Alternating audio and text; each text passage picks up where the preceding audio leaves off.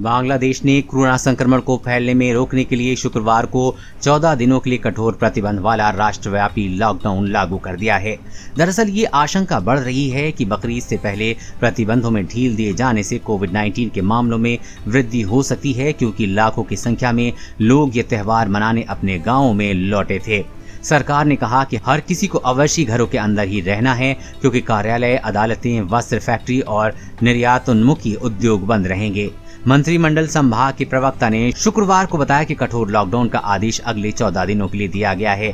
पूर्व के प्रतिबंधों के उलट इस बार निर्यातोन्मुखी फैक्ट्री भी इसके दायरे में आएगी।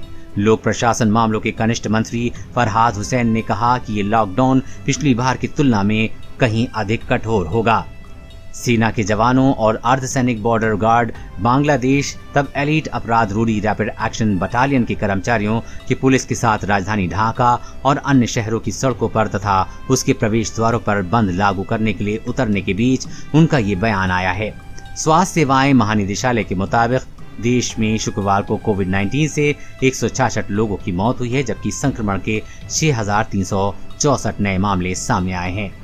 कोरोना वायरस और कोरोना वैक्सीन से जुड़ी हर अपडेट पाने के लिए चैनल को सब्सक्राइब करें।